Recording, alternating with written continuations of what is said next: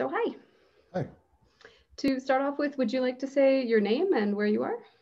Yeah, my name is uh, Dr. Ronald Alexander, and I'm in Santa Monica, California. Okay, well, nice to meet you. Nice to and meet you. the uh, the first big question for you is, uh, who are you? Who are you as a human being, as a person? And that can be, you know, qualities, values, interests, passions, whatever you'd like. Um, well, talking about myself, um, I'm certainly an adventurer and a pioneer.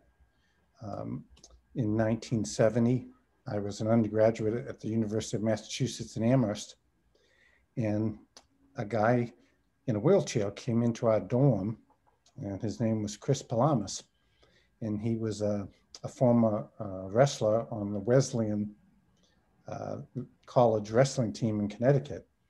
And he said that he had just spent three years with someone named Fritz Perls out at Esalen. And he was looking for volunteers to participate in a Gestalt therapy group. And I didn't know what Gestalt was, but it sounded interesting.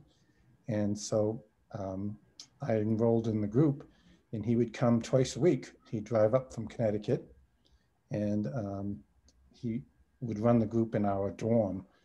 And so it was the same time in life and history where I was also got introduced to being a mountaineer. And so I started climbing some of the tallest mountains in North and South America. Uh, you're in Durango, Mexico. I'm sure you've heard, heard of Popocatépetl. Mm-hmm. Yeah. So we did a mountain climbing expedition that very same year with a group of us some of us were in that Gestalt group and uh, some of the folks weren't. And so I've been an adventurer, uh, a world traveler. I'm someone that, um, in addition to getting involved in Gestalt in 1970, I also got involved in Zen Buddhism and uh, Kundalini Yoga and Ashtanga Yoga. And so I've spent a lot of time uh, both in the West practicing psychotherapy, but also alternating my time between being in Asia, uh, Japan, uh, Bali, Thailand, India, um, and studying meditation, studying various systems of yoga. Um, and then I spent a lot of time, about a third of the year in Europe, usually doing trainings and teaching and enjoying the European culture. So. Okay. And out of all of those different aspects of your life, would you say that there are any particular values or principles that you sort of orient around? Um, the most important value I think that I operate around is integrity and truth. Um, being a very early explorer of spirituality and mystical systems, everything is really about uh, seeking for the truth and living the truth and finding the truth. So I would say I'm somebody who's very truth and uh, integrity driven. Uh, it's really important um, to live from a place of truth, telling the truth, um, acting in truth. And then whenever I don't want to tell the truth on not acting in truth, I usually say, I don't want to answer that question. no. Okay, you plead the fifth. plead the fifth. Um, but I'm also, I think, really driven by the value of curiosity and mm. creative imagination. Um, mm. When I was 15 years old, I joined a band in Boston um, with two of my high school chums who were eminently, extraordinarily gifted musicians. I think I was just kind of a ordinary guitar player and singer but they were really truly uh, just in a class of their own. And so I spent a lot of time in my early life studying music, playing music, being with really gifted musicians. And it had a profound effect and influence on my career as a Gestalt therapist, my career as a professor, um, and my career as a consultant and a trainer, and in the last 15 years as a creativity coach leadership coach. Okay. Well, definitely sounds like uh, quite a rich variety of experiences. Yeah. So I, I'm kind of looking forward to the story that might come out when I ask it, what event or circumstance that you've experienced in your life comes to mind as something that has really impacted or changed or shaped you significantly? Well, there have been so many. Um, I would say the most profound event was participating in that first, very first Gestalt therapy group. Um, I had been in a variation of um, a Sullivanian postmodern um, form of psychoanalysis uh, at the university for the year before, where I would go and see this therapist who was really trained analytically. But because he was a Sullivanian, he was from the interpersonal school. And so his office was in his house. His name was Dr. Norm Simonson. He was the chair of the psychology department at the University of Massachusetts. And I was in a lot of pain. I was depressed. I had a lot of anxiety. And he only charged me $5 a session. And he was this like preeminent head of the psychology department. Uh, he had a PhD, um, eminently gifted, written many, many books and publications. And when he asked me how much I thought I could pay, I, I said, I'm just so embarrassed, but you know, I don't really have any money. I'm a struggling student. How's five dollars? And he didn't miss a beat. And um, that was very impactful and profoundly influenced me that he was really doing it out of the genuine interest in helping and healing. And I took that with me throughout my entire career and you know have always remembered that sometimes you just give it away um, and it comes back tenfold so i would say joining that Gestalt group in Amherst. And then I also would say profound impact on me was I met these two Zen Buddhist Quakers. And I know it's a strange combination, but they were Zen Buddhists, they were Quakers, and one of them was Teresina Havens, and she used to be the chair of the uh, Buddhist Studies department at Yale, and then she came up to Amherst. And then her husband was the uh, very preeminent um, religious psychologist who studied with uh, Fritz Kunkel, who was here in LA um, in the 30s, 40s, and 50s. And he, Joseph Havens, Teresina's husband, um, he was involved at Harvard with the Leary and Alpert and Metzner research project on psychedelics, mm-hmm. LSD and psilocybin. And so I met them when I was 19 years old, um, and they took me under their uh, thumb, and they really wanted to mentor me.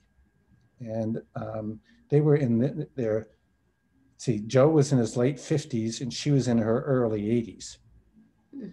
And I would have these mentoring sessions, you know, e- each with them separately.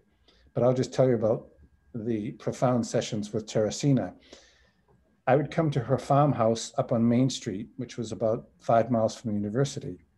And let's say the uh, mentoring session was at three o'clock. And so we would go out into her garden and we would pull weeds and we would plant and we would harvest things and we would talk. And she would ask me um, to talk about myself. She would ask me, like, straight up questions. How are you feeling today? And if I would just say, oh, fine or good, she'd say things like, well, I, I really would prefer that you dig a little more deeply and tell me what's really going on with you so that we can have a real encounter, a dialog Because mm-hmm. they were also, I found out later that they had been trained in Gestalt therapy also.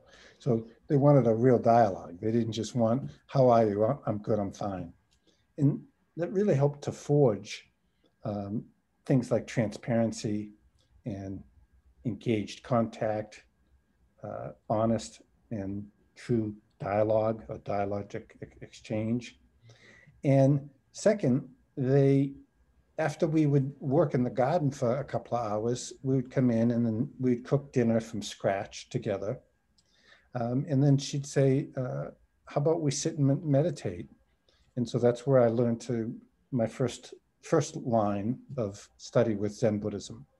Um, so back in 1970, I was one of the really beginning baby teachers of mindfulness, um, Hmm. which didn't explode until like 2004, 2005. And, you know, I published my first book on um, Wise Mind, Open Mind on mindfulness. It's called Wise Mind, Open Mind, Finding Purpose and Meaning in Times of Crisis, Loss, and Change in 2009. And I would have to really attribute the, the very early uh, mentor-mentee relationships and conversations that we had over a course of a couple of years um, with both her and with her husband separately um, is being really formative kind of shaping um, because it really shaped my character. Um, they were really about no bullshit, you know, tell us what's really happening with yourself. If you're depressed, say you're depressed. If you're anxious, you're anxious. If you're happy, you're happy. Um, and they also were very instrumental in opening the door at that time in history to some experimentation with psychedelic uh, psychoactive substances because Mhm. they were both involved in the uh, study at Harvard University. And so through them, I then met another very, very important mentor, Dr. Daniel P. Brown, who is still at the uh, Harvard uh, Medical School. And he and I have had a relationship for over 45 years and extremely influential in, in terms of understanding altered states of consciousness, understanding attachment theory. I've studied hypnoanalysis and hypnotherapy with him uh, on and off over the last 40 years. I've studied at Harvard Medical programs and, um, on mindfulness and, and peak performance. And I would say those three in my uh, council of support as an undergraduate, and then if you put in the Gestalt therapist, Chris, those four people had a tremendous uh, impact on, on me and how I developed as a person and then how I developed uh, professionally. And I'm, I'm wondering if there's a particular moment that comes to mind. A, I mean, I imagine like the, the circumstances of the garden conversations and the dinners, but is there is there a particular moment that you would say this this word, this conversation, this moment changed me in some way, or is it sort of a series of gradual processes? Well, there was a series of gradual transitions, but the biggest change, I would say, is in 1994. I was in India, and I was asked if I wanted to take a um, a sunset cruise in a small boat between the boatman and myself, where you go out uh, into the river Ganges. And Varanasi is the sacred and ancient city. It used to be called Benares. Um, and it's the ancient city of where it's very auspicious. People from all over India, they want to go there to die um, because it's considered uh, a sacred rite of passage to die in Benares and to be cremated there. And so one night, um, I was invited into the boat, and we were going through uh, the fog to get out into the middle uh, of the river where you look back and you see all these temples and all these, they're called ghats. Um, there's one to like 11 ghats, and we were in the first three of the ghats, and the ghats are the places where they uh, cremate people and then they push their ashes into the water. Mhm. And there was a point where we were heading out, and about halfway through um, getting to the center of the river, the kind of fog cleared up, and then I had this experience it, as if the fog inside of myself had lifted, and like there's a saying. Um, Aldous Huxley had it in his uh, Doors of Perception, and he borrowed it from William Blake. in where William Blake says, when the doors of perception are cleansed, everything appears as it is and infinite. And so there was this profound experience of just experiencing the outer and the inner fog receding. And then I had this kind of pristine experience of uh, realization of really feeling like I had just begun to wake up and to see everything from a, a different plane of consciousness, one with great clarity. And that was pretty profound. And then mm-hmm. um, on that same trip, at the I write about this in in my book, um, the very last chapter. So I was traveling all over India for many months, and I was really searching and looking for enlightenment and um, looking for some great master to study with. And uh, every profound master I met um, they always asked they asked me the same question, and after that experience, they would say, "Do you have Do you have any questions?" And there's a saying in Zen that in order to open yourself up, you have to empty yourself. And so every time I, I would meet a master, they would ask me the same question: "Do you have any questions?" And I would say, "My like my brain would go blank because I didn't." And so then they, they would say, well, you, there's nothing that, you know, we don't have any karma because um, unless you have questions, there's nothing for us to do. And so mm. one of them suggested that I head on to uh, Bodh Gaya, which is where the Mahabodhi temple is. And that's where the Buddha was enlightened. It was like there were seven spaces around uh, Bodh Gaya where he sat. One was in the river, one was up in a cave, one was in the forest. And so his last place was under this Bodhi tree.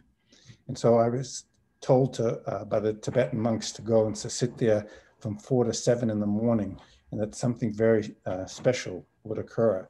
So I was hell bent on, oh, that's where I'm going to experience enlightenment. And so I was, I went there, and it was freezing cold, and it was in January, and um, I'm meditating. My meditation's perfect, and about quarter of seven, I, I start to feel like the like little acorns are being tossed at me, and then I hear the laughter of children, and then I start to feel that my hair is being pulled, and then flowers are being thrown at me, and so I open my eyes, you know, and I'm feeling like okay, I'm quarter of seven, I'm I'm right there, I'm I'm about to be enlightened, you know, one eye, and this like 25 little Tibetan kids, and they're playing with me. And then I just burst into this experience of like joyous humor. Like, here it is, I think, that I'm sitting here so wholly still. And what do I get? That the message is play with the kids. You get the laughing Buddha. I get the laughing Buddha and I just couldn't stop laughing and laughing. And I think I laughed for the whole the rest of the month in India. That um, wow, okay, then that's really what it is, you know, because being in the moment, and that's what showed up. And all these little kids, and we played for like about an hour, and I gave them chocolate bars and pencils because when you travel in India, it's important to have things to give give away. Mm-hmm. And uh, it was uh, profoundly uh, touching, but also uh, very joyful. Hmm. And I, I ask this next question. I sometimes ask people about it. I sometimes don't, especially when I'm speaking, you know, with white guys over 50. Um, I'm curious about how you understand yourself in the world in terms of privilege or power or who you are in relation to, you know, all of these other places and people. And I, I say this respectfully. I mean, I don't sure. assume anything about you. Yeah. I, I would have to answer it in two parts because there's who I am today at age 70. And I would say that it, as a white male, highly educated, highly professionally trained, published with lots of publications. And I've taught at some very prestigious universities like UCLA, Pepperdine University, Pacifica Graduate Institute, um, lectured at John Hopkins Medical School, and on and on and on. That um, oh, I've had a successful private practice, and as I said, consulting and leadership coaching and teaching at universities. So, who I am today, I would say, very privileged. I mean, as a white guy, you know, if I had been born um, in another body in from another race, uh, I don't know. So I'm incredibly thankful. Um, oftentimes at night when I'm sitting in my hot tub in my Zen home up in the Santa Monica Mountains, uh, overlooking the ocean, gated in with skylights and fireplaces, I say to the cosmos, you know, I have these two giant pine trees and oak trees. I usually say, I'm just so thankful. I am so grateful, Cosmos.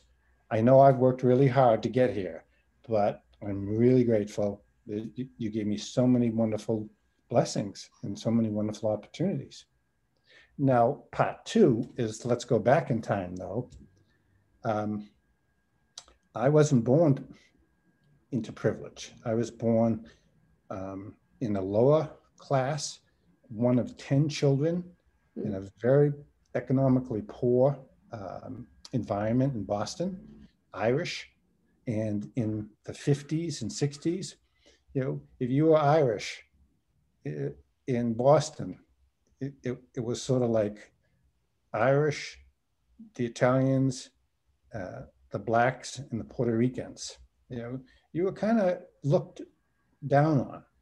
And then being one of 10 children, not much privilege because we barely had enough money. I mean, my father was an executive at AT&T for 45 years, but he, the kind of money he made if he had two children, we would have had a life of luxury.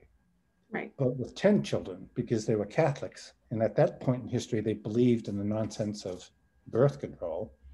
Um, here's a guy that, you know, worked 14 hours a day, sometimes six, seven days a week. He could never get ahead. Right. And so I didn't have any privilege um, growing up. You know, I had to really fight and scratch and claw my way onto every athletic team, to become an Eagle Boy Scout, to be um, to attend college. I had to go to junior college first because I couldn't afford a four-year school. And then junior college, I had such great grades that I uh, got scholarships at two different universities. Um, and so the beginning of my life, I, I, would say not a lot of white privilege. White, but not a lot of privilege. I mean, I, I would say our socioeconomic background was up there with a lot of minorities. And uh, we were we were shamed, we were humiliated because we had 10 kids. You know, anytime we showed up in a station wagon, there were it was a very um, there was two parts of Boston. There was the richer Irish neighborhood and then the poorer and we would be shamed, you know, 10 children, da da da da. So early life, very little privilege. Mm-hmm. But after I say finished graduate school, yeah, I've been extremely um, blessed mm-hmm. to have had a lot of privilege. And I guess being white and being a male, um, not many doors were ever shut to me. Mm-hmm. Uh, and I you know, it, it, if there was a choice between me and somebody, some other faculty member, I usually got hired. I usually got the nod. Um, the only place I didn't get the nod was in a few Gestalt institutes, but that's a whole other story of politics. That if you want to get into later, we can get into that. But um, yeah. Gestalt politics um, was very, very difficult to navigate. That was sort of like my early life. Mm-hmm. It's it's always got a life of its own, doesn't it? So an, another question that I do have to, to get into the the Gestalty part, maybe less in the Gestalt politics, but um, before I go there, is specifically how you experience or have come to understand yourself in your gender or in your masculinity or as a man. If that's been part of something that you've been exploring consciously. I don't think I've consciously explored it. Um, I think as I've aged and people have, from all ages and all genders, have sought my counsel, um, I've come to appreciate and respect that I think, and maybe some people will take issue with this, I think it's a lot easier to be a male navigating through a male dominated world than it used to be for a female. I don't think many people would take issue with that. It sounds kind of like a statement of fact. Yeah. And um, and when I was chair of a psychology department and director of a clinical training, um, I would stack it. And at times, in some of the years, there would be far more female trainers than male trainers. And I grew up with six sisters and three brothers. And so I was kind of impartial because my sisters, they were really wise and nourishing. And so I had a very positive relationship and I didn't feel threatened by women. But I always found it very interesting that in faculty meetings and even in training meetings, that a lot of the men would really feel threatened if some woman pushed her weight around. Let's say, for example, somebody like uh, Stella Resnick. She was awesome. I mean, I met her uh, when she moved down from the Bay Area. She used to date Jerry Rubin, the 60s activist, and she studied with Fritz Perls uh, personally, whereas I'm second generational. Mm-hmm. She was really first generation.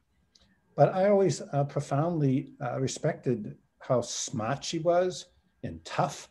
And she didn't let anybody, men or women, push her around. No, she and still does not. does not. That's right. And I, I like that. I've always mm-hmm. liked that about her. And so um, I haven't, like the men's movement came along, but I wasn't really, I didn't need it. And I think I didn't need it because when I was 13, I joined the Boy Scouts. And so you're really in a men's movement.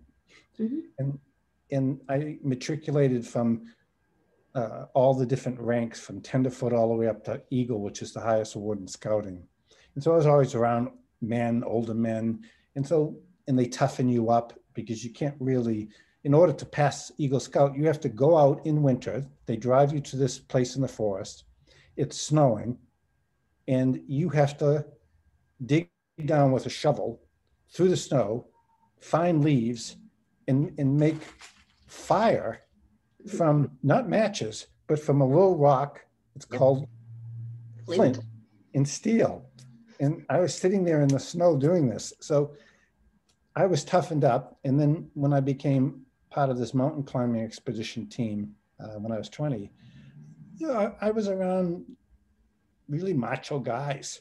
And so I, I don't think I've had to um, struggle with gender uh, mm-hmm. with myself. Um, and I think I've been able to deal with uh, professionally and make m- lots of space for always having and surrounding myself with really strong, uh, smart, uh, tough, intuitive women.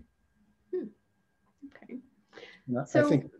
Mm-hmm, go ahead. I think that's what really made my faculty really stand out. Is like I said, I tended to stack it more. If there were ten slots, there was always six or seven women. Sometimes there might be six men and four women, but I tended to um, have a lot of strong women around me. Hmm. Okay. So I'd like to switch in a little bit more to Gestalt. You mentioned uh, this, the Amherst group. Was that where you met Gestalt or what was sort of your first encounter? Uh, the very first consult, con, um, encounter was at the University of Massachusetts in Amherst. Mm-hmm. And that was with Chris, who had, the uh, paraplegic who had been studying with Fritz out mm-hmm. at Esalen and he had gone out, I think in 68, 69, 70. Um, and then he had gone up to Lake Cowichan uh, up in Canada and had been part of that, uh, the Gestalt commune up there. And so what did you get from that? What did you find there or what, drew you in? Well, prior to uh, meeting Chris, I'd had that year with the Sullivanian analytic Mhm. therapist, Norm Simonson. And it was really helpful. I mean, Norm Simonson really helped me to uh, feel less depressed, uh, less anxious. When I had my first Gestalt therapy experience with Chris Palamas, I just had this whole other, it was like moving from channel two to like channel 500 okay. it was like a lot of the analytic therapy was up, here. And then after working with Chris, this other guy came to town named John Heider. And John Heider was a Gestalt therapist who studied with Fritz. And then he studied, he was one of what's called the five horsemen at Esalen. And they studied under Uh, no apocalypse? No? no apocalypse. Okay. But they wreaked, they wreaked an apocalypse in terms of how experimental they were at Esalen in what they called Gestalt therapy. Okay. But they studied with a, a guy named Will Schutz, who wrote the book Encounter, and he was a student of Fritz's also. And to fast forward, John came out to Amherst, and I did um, a weekend with him of Gestalt therapy. And it just changed me from the inside out. I mean, I just felt like I'm li- I'm now listening to a language of therapy that is the language I want to study. And this is really touching me. Um, this awareness stuff and being in the moment and the kinds of things that he could do because he was also like myself he was interested in buddhist meditation and chanting and um, he was as i was he was interested in somatics and we both studied with this guy alexander lowen who was the developer of bioenergetics who you know really precedes everybody and so I did that weekend with John Heider, and I said to him, uh, "Where are you located?" And he said, "Well, I have a human potential school in Mendocino." And so I went out to Sonoma State University to work on my master's and doctorates in humanistic and existential psychology. And so we, I became um, the coordinator of the speaker program, guest speaker program. And so John was one of many people that I invited to come down and to speak to the university. And I invited Ram Dass, Bhagavan Das, Chogyam Trungpa Rinpoche, James Fadiman from the Transpersonal Psychology Institute, Stanley Krippner, who was a parapsychologist, and on and on and on. And so we had John Heider come down, and it was at the end of my first year of the master's program. And again, I watched him work from Friday night till Sunday noon, sometimes 16 hours a day, and watching people and myself go through these extraordinary transformations. And I just went, wow, this is what I want to study. This is my language. And then when I arrived, I went from Northern California down to Southern California, and I was um, in a Kundalini yoga ashram studying Kundalini yoga because the teacher, he was in LA and uh, we were about an hour and 15 minutes outside of LA near uh, Pomona College. And this guy came and knocked on the door of the ashram and he said, um, I'm at the Claremont Divinity School getting my doctorate in divinity. I'm a Gestalt therapist. I'd like to learn Kundalini yoga. How about you teach me Kundalini yoga and I'll come and I'll do Gestalt group once a week. So I said, perfect. And his name was Dr. Hunter Beaumont, who now is in um, uh, Germany, um, in Munich, uh, Munich, Germany. And so he started coming. And after three months of working with him, I said, well, where can I get trained in Gestalt therapy? And he said, at the same institute that I'm studying with, and that was in Los Angeles, through the Los Angeles Gestalt Therapy Institute, and had a wonderful opportunity to uh, work very, very closely with all the trainers. But I would say the ones that most importantly touched me was Robert Resnick, who had a command and an understanding of process and an ability to articulate Gestalt theory and phenomenology and field theory like nobody. And so I, I worked with him for many years. And then he used to do these five day trainings every fall and every May with another trainer mm. named Robert Martin. And Bob Martin, he was a gifted sculpturist and painter and gestalt therapist. And so they would do these five day residentials that I took for three or four years together while I was in the Institute. And the double polarity of, I mean, the difference between them was night and day. Yeah. But it was a fabulous difference because, like Resnick, he just has this way of understanding process like nobody. He, I used to say to him, Bob, you're like a Zen Gestalt therapist. And he'd say, Don't insult me, don't insult me. You know, in those days, anything Zen or it was always woo. His biggest beef was always, if you're going to do a workshop, don't call it Gestalt and Zen. Mm-hmm. Just call it Gestalt and make Zen part of Gestalt, which is a very good point from a theoretical perspective. And then he introduced me to Bob Martin, who again said, Well, look, I'd like to learn meditation and yoga. How about I supervise you once a week and you train me in Kundalini yoga and meditation and, and uh, Zen Buddhism. So I did that for several years. Um, and so those two, and then there was a third person who was really, really terrific, and that was Gary Yontef. And Gary was influential in really helping me to understand dialogue and the importance of being honest and present and purposeful in therapy and being real and having integrity and the importance of developing character.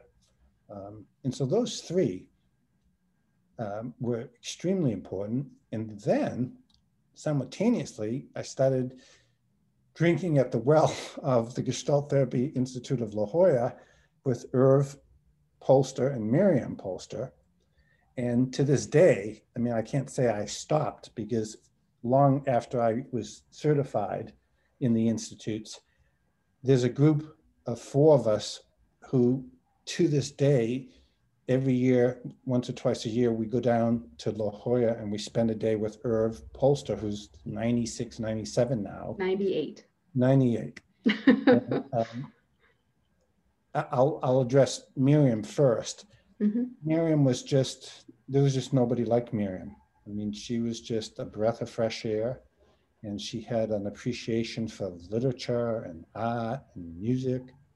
And Miriam uh, had a way of, when she worked with you, it just opened you up, but it opened you up also, opened your ears to hear differently and your eyes to see differently. Mm. And then Irv, well, I, I just have to say, Irv is the wizard. He's the magician. He's um, Irv's just extraordinary. And what's extraordinary about Irv is both his ordinariness, in that he's just a really nice guy, but he has this extraordinary way when he's working. He's not thinking that he's a Gestalt therapist. He's just intuitively there and I've seen him over the years because I also teach, as he does, at the Erickson uh, conferences in Phoenix, and I've taught nationally and internationally. And I've watched um, Irv do demonstrations, clinical demonstrations, and um, with other Ericksonian hypnotherapists and with other psychoanalytic people.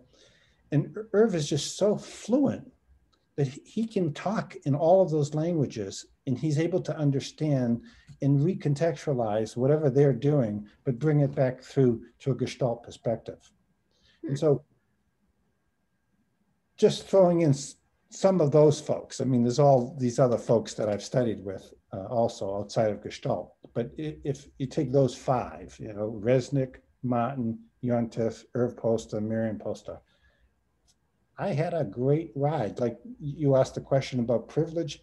Yeah, I mean, I was really blessed to study with those masters at such a young age and then continue it. I mean, yeah, and I, I really appreciate the way that you're saying it, not as a presumption and a list of, oh yeah, you know, been there, tick that box, I was there. I, I'm enjoying your appreciation of the people and of their work. Yeah, and to this day, I mean, if I have an issue about something, I'll email Bob Resnick and set up a supervisory consult. Mm-hmm. And like I said, he's just always on process. And then, of course, Irv is just, you know, Irv's just the fountain. I mean, he's just so extraordinary. Mm-hmm. Just extraordinary in so many special ways. I mean, he's not only warm and heartfelt, but he's just got, got that laser of getting you to come out of wherever you're stuck in that you don't even know you're stuck in. Mm-hmm. I mean, last time I was with him, he had me stand up on a couch and to sing to the entire group. sure. I, you can't say know, no to that, can you, really? No, no, no. And it really opened me up too, because I, I, was complaining that I was suffering from depression from um, some heartbreak. And 10 minutes later, he's got me singing and I'm in joy. And like, um, and he goes, and what about the heartbreak? and I, you know, like you forget about where you started. Hmm. Okay. So when you said stuck, I mean, another question that I sometimes ask is about challenges. Like what, what have you run up against in, in all of this process? Well, that's where poli- a little bit of politics come into play. And I don't, I think um, it's best to not name names, but. Yeah, no, you could just say that was it. It was the Gestalt politics. That's. Yeah, in the Gestalt politics, with all my training and expertise and being the chair of the psychology department and the director of clinical training, the LA Institute pretty much, and, and I've taught at other Gestalt therapy institutes all over the world Japan, Australia, Canada, Europe. Um, the Gestalt politic in Los Angeles is, I'd say it's a very closed shop. And so it was very difficult and really personally painful to always not be allowed into that shop. Mm. That's hard. That's about all I have to say about that because yeah. a closed shop is a closed shop. and Irv says to me, if the door's closed, stop knocking. Yeah, that's a, a very wise piece of advice, I would say. Yeah, and he, said enjoy that you get to go to Japan and teach there, and you get to teach all over Australia, and on and on and on. But um, so, mm-hmm. so maybe, even if that if those if those particular doors are closed, um, do you feel like you have a community that you're part of a Gestalt community? Um, yeah, yeah, because I still interact with the people mm-hmm. and refer people, and they refer people to me. And but is it a meaningful community for you as a person? Is that does that phrase Gestalt community mean anything to you?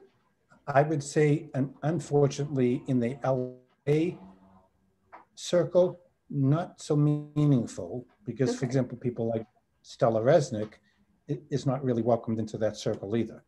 Okay. But like Stella and I, in the European Association of Gestalt Therapy, much I feel much more uh, affinity and closeness. Mm-hmm.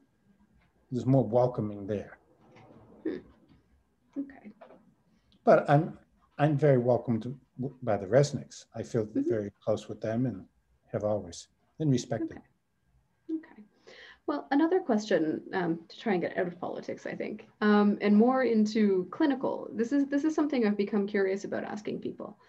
Is what comes to mind as a, a clinical experience in your therapy career that you kind of went, "Wow, this was a remarkable moment."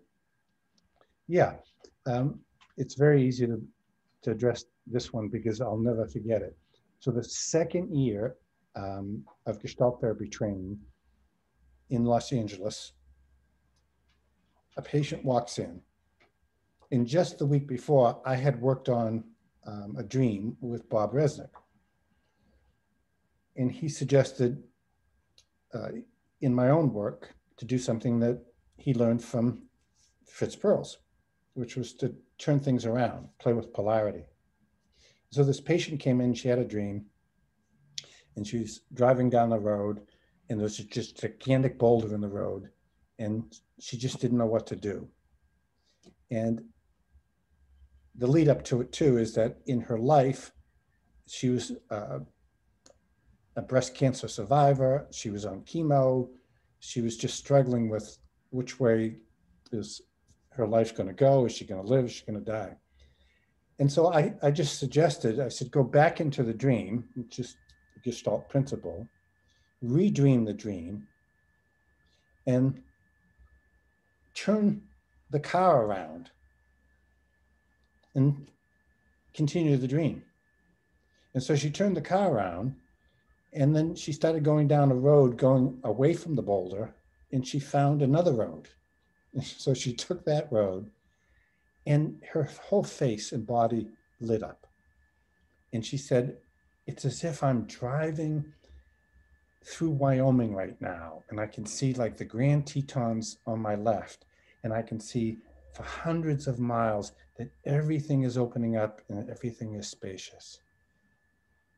And she just became like overwhelmed and she was crying and tearful. And then, as things in her nervous system started to settle, she said, I'm, Dr. Ron, I'm going to be okay whether I live or whether I die. Mm. The mountains Yep, I surely got to climb them. And then on the right side, I can see from the open road, that could be the end of the horizon for me. But I just feel at one, whether I go left or I go right. Mm.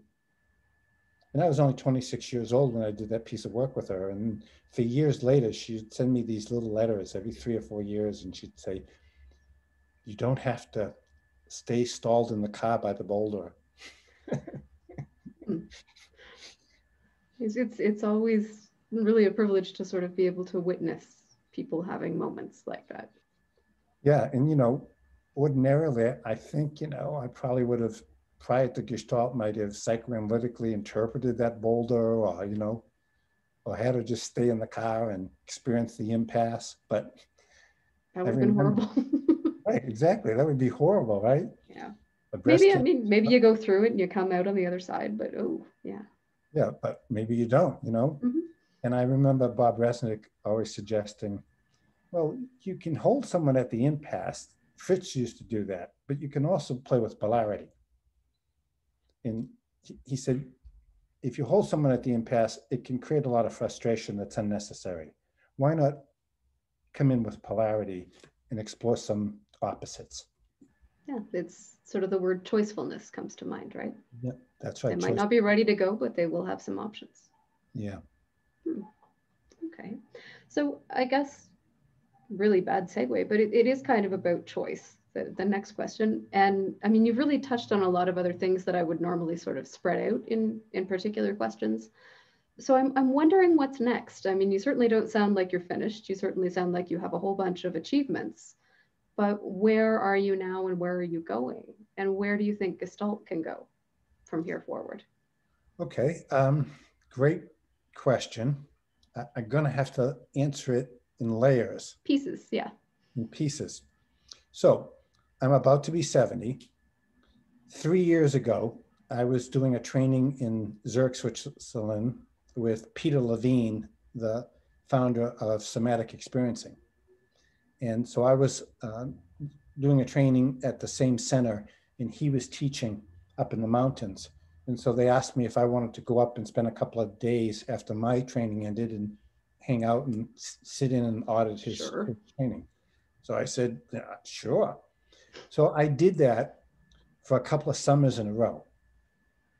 In one summer, we were at breakfast together. And I said to him, Peter, that piece of work that you did yesterday afternoon, it just seems so easy and so simple. And he lowered his glasses and he said, Oh no, Ron, that was a very complex piece of work. Have you taken my training? And I said, No. And he said, I think you should. I think it would really complement what you do with Gestalt and Ericksonian hypnosis and mindfulness. So a month later, I was in the somatic experiencing training in Los Angeles, and three years later, I, I graduated, got certified. And so, where I am recently, I brought Matt into Gestalt work. You know, mm-hmm. the importance of tracking the nervous system, working with the polyvagal system, ventral vagal, dorsal vagal, parasympathetic, sympathetic system. So I have a deeper appreciation for using somatic experiencing as a Gestalt therapist to treat uh, shock trauma and developmental trauma. Mm-hmm. Which brings me to well, where am I now? I still have uh, lots of ambition. However, I'm under contract to write a new book, and my new book is on core creativity. And so I'm going to try to bring a lot of Gestalt therapy and um, mindfulness principles uh, into it. And with the uh, COVID, it's the first time in I'd say 35 years I haven't been on a plane since January. You've been grounded. I've been grounded, and I was supposed to go skiing in January, and then to the uh, Mexico in February. Mexico in February. I broke my foot, and then COVID hit. And so I found myself restricted for like the first time in my whole life. Like I couldn't walk around with a broken foot, and there's COVID. I can't go anywhere. And so I've developed a great appreciation for just being at home mm-hmm. and not doing a lot, which is a big, big shift because I've been a super overachiever. And um, now I can't wait for the vaccine because I was supposed to be in China this month doing five weeks of training, which is off the books. You're not. not. And I have nothing, nothing, zero on two, 2021. Nobody's scheduling anything. No. So it's great because I get to write my book, mm-hmm. but um, I'm also learning that, okay, you know, you don't have to be on the road all the time lots of emptying of self and no yeah. future planning and yeah and in zen we say if you empty the teacup then the master in the metaphor of life the cosmos can pour more water you know more wisdom and mm-hmm. more nourishment uh, so i'm i'm really experiencing that i'm being fed and i'm letting myself be fed sleeping eating right exercising reading researching writing so it's um it, it's a novel time. I probably wouldn't have picked it uh, had I not broken my foot and COVID set in. But here we are, and um, I'm starting to like appreciate it. Well, I mean, they tell you to go sit under the tree from four to seven in the morning. You sit under the tree, right? That's right.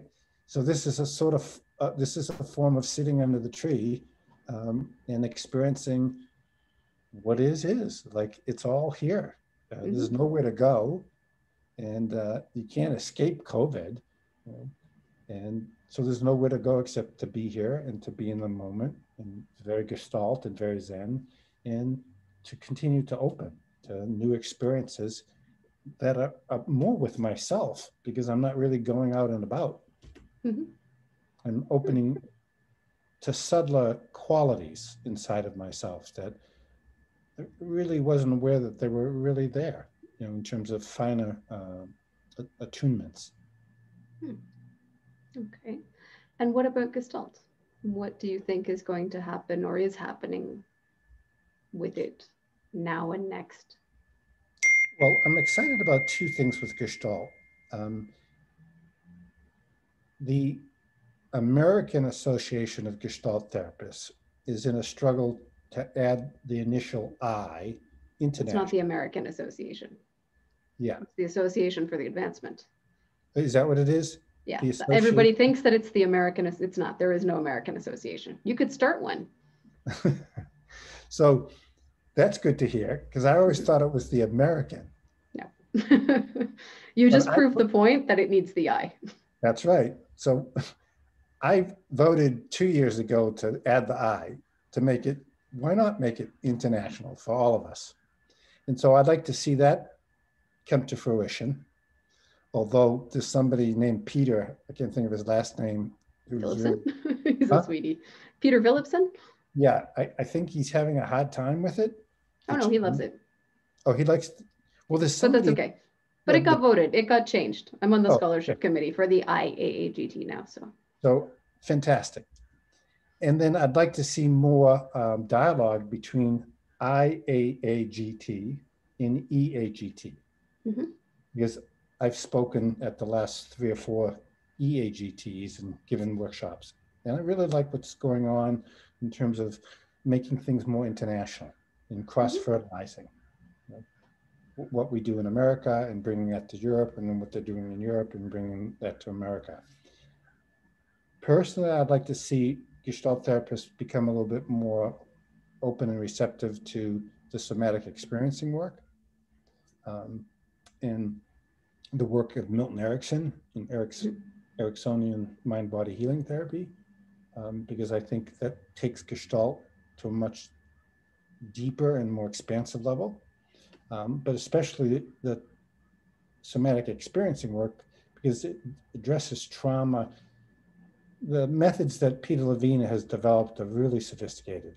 And to be 66 years old, and I'm sitting in the back, and I decided in the first training to just sit on the floor. You know, I didn't want anybody to see me or to notice me and make it any kind of a big deal. And the first day went by, and yeah, it wasn't particularly moved. And then the second day, when we started working in triads, and then the third day, the theory and all of the um, neuroscience and all of the trauma theory, and then the working in triads, I started to feel like what I felt very early on in Gestalt therapy that, like, whoa, something's happening here. What it is is not exactly clear, but I'm really liking it. And then three years later, when I walked out with my certificate, I went, wow, I'm really glad I got that. And I'm really glad that at 66, I, I'm not a know it all, that I was able to sit with a whole bunch of 20 year, three year olds and 30 year olds and 50 year olds and really get influenced and really get uh, profoundly affected. Um, and on another level, I was just excited the fact that, yeah, I did it. I did some, I went on to do some new training that I never thought I, I would do, Mhm. which kind of opened up like, you're never too old to learn. There's always new stuff to learn. Just get out of the way. And when something comes along and someone says, hey, Ron, I really think you, you get a lot of benefit out of this. Really listen to that, which I Hmm. did. And so last time I saw Peter Levine, we were at a faculty dinner together, and I looked over at him and I just winked and I said, I did the training, Peter. And he smiled and I smiled. And that was all that was said. There was like nothing else to say because he got that I got it. Okay. Well, thank you. Um, I would like to just end it here, if that's okay. And I really appreciate your time. Chaos. Hope to see you down the road. Mexico.